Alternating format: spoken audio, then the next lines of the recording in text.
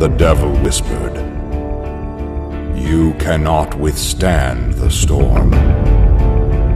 The warrior replied, I am the storm.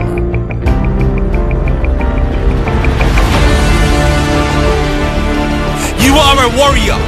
You will get through the storm. You will show the storm who's boss.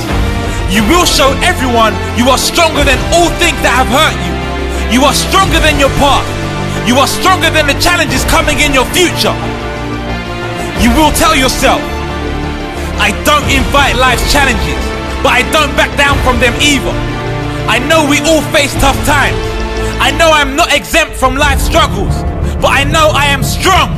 I know this will pass.